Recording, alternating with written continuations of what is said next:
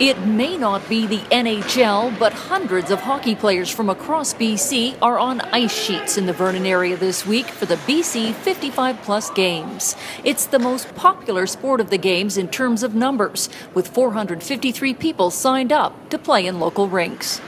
I'm here with former Vernon Mayor Wayne McGrath, who continues to play hockey well into his well, you're over 55, aren't you, Wayne? Well, I'm about 74 to be exact.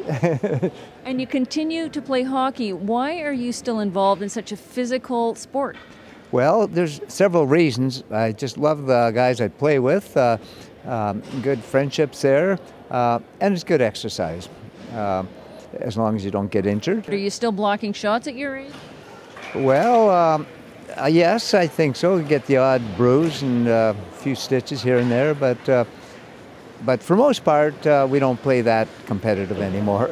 Is it non-checking?